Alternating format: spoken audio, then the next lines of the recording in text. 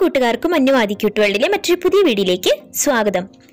ഇന്നത്തെ വീഡിയോയിലൂടെ നമുക്ക് പായസത്തിൽ പ്രമുഖനായ പാലട പായസത്തെക്കുറിച്ച് കൂടുതൽ വിവരങ്ങൾ നോക്കിയാലോ? പായസം ഇഷ്ടമില്ലാത്തവർ ഉണ്ടാകില്ല അല്ലേ? പാലട പ്രഥമനാണെങ്കിലോ? പേര് കേട്ടാൽ തന്നെ വായിലൂടെ കപ്പലോടും.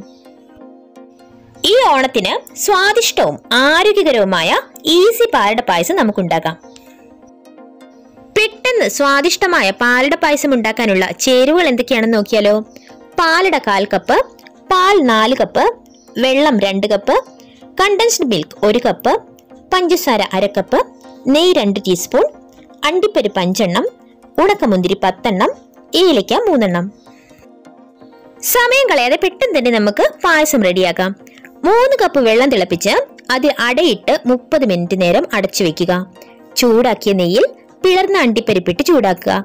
അതിലേക്ക് മുന്തിരിയിട്ട് ബ്രൗൺ നിറമാകുമ്പോൾ പൊടിച്ച ഏലക്കായ കൂടി ചേർത്ത് ചൂടാക്കുക.